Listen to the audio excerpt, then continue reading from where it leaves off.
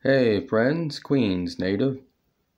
Check out this photo of Jamaica, Queens. I'm not sure of the year, but I'm guessing by the cars it could be like the late 1960s or maybe early 70s. What, what struck me interesting about this photo is you could see it looks like there was a train here up above. You could see like the support beams over here. So it looked like maybe like a train was just maybe dismantled there. I'm not sure what that's all about. It could be like a part of the J line was removed because I know the J line runs along Jamaica Avenue in like the Woodhaven section of Queens, kind of like Richmond Hill, Woodhaven.